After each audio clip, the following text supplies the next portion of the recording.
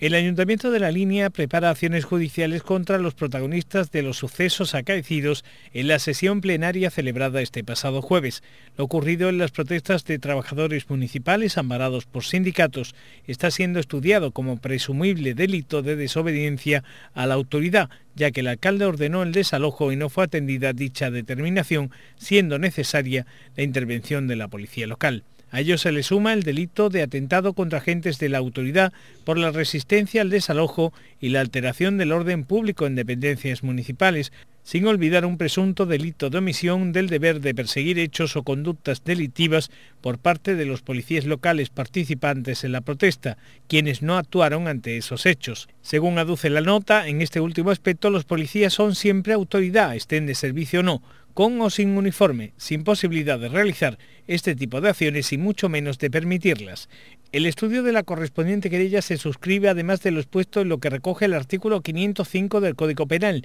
que indica que incurrirá en la pena de prisión de seis meses a un año quienes sin ser miembros de la corporación local perturben de forma grave el orden de sus plenos, impidiendo el acceso a los mismos, el desarrollo del orden del día previsto, la adopción de acuerdos o causen desórdenes. El equipo municipal de gobierno está tajante al afirmar que no permanecerá impasible ante toda esta tipología de delitos llevada a la práctica el jueves, llegando por tanto hasta sus últimas consecuencias.